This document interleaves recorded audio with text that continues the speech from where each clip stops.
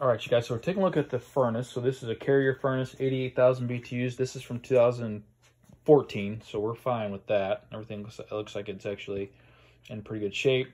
Uh, here's where we get into like a spacer and then a pretty ancient uh, coil. You know, it's got the old R22. I'm not even sure.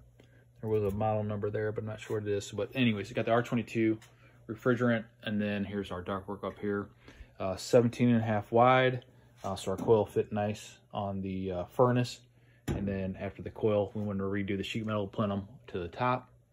Um, the line set, so we got a you know a solder joint here. Maybe make our cut right in here. Flush, solder back together and get new insulation on that. And then our condensate drain, we could probably come over on this side with the new coil down right into the uh, floor drain.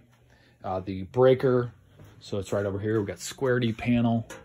Looks like a newer a newer panel. And then this is, I can get it open. Uh, either the 30 amp or 25. And once you guys identify that, let's label that over here for them. 100 amp panel. Um, and then, Max, is there a walkout or no? Is it just pretty much up and out? Up and out. Yeah, okay. So we gotta go up a flight of stairs and out. So that's uh, what we got.